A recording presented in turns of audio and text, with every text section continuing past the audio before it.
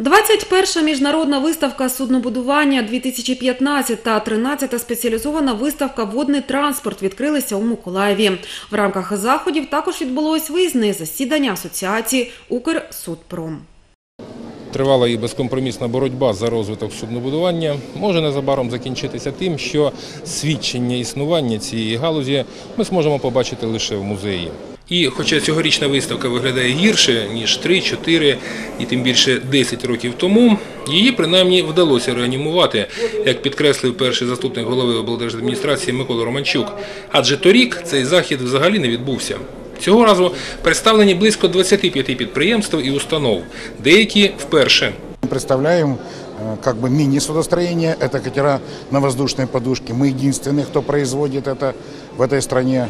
Ну и плюс мы э, начали делать прогулочные катера вместимостью 30, 50 и 90 человек.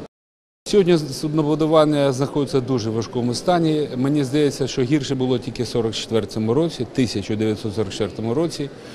Але е, ви знаєте, в принципі, вся Україна вчиться працювати в реальному ринку. Потенциал у судостроения есть достаточно большой. А так как я сейчас достаточно часто работаю в Европе, могу сказать, что у европейцев тоже есть интерес к Украине.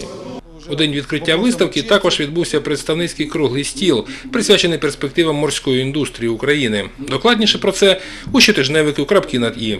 Федір Бондар, Ігор Дорошенко, телевізійні новини Миколаївщини.